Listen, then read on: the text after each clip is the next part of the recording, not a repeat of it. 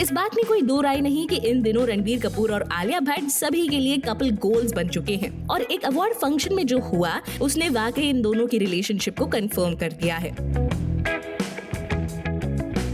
रणबीर कपूर को इस award function में बेस्ट एक्टर का खिताब मिला। वो भी उनकी फ़िल्म संजू के लिए। जहाँ ये अवार्ड उन्हें किसी और ने नहीं, बल्कि उनकी गर्लफ्रेंड आलिया भट्ट ने दिया। और जब रणबीर कपूर अपनी थैंक्स गिविंग स्पीच देने लगे, उन्होंने इस अवार्ड का सारा क्रेडिट दिया अपनी लाइफ के दो सबसे स्पेशल लोगों को, यानी अपनी माँ नीतू सिंह को और अपने पिता ऋषि कपूर को, जो कि इन दिनों न्यूयॉर्क में अपना इलाज करवा रही हैं। लेकिन जब रणबीर अपने पिता के बारे में बात कर रहे थे, आलिया भट्ट काफ़ी इमोशनल हो रही थी उन्हें उसी वक्त अपने आँसू पोछते हुए देखा गया था